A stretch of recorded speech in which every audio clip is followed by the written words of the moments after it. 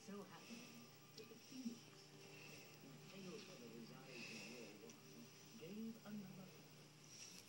Just one.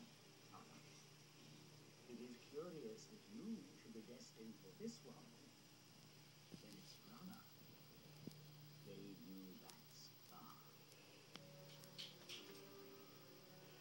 Who on that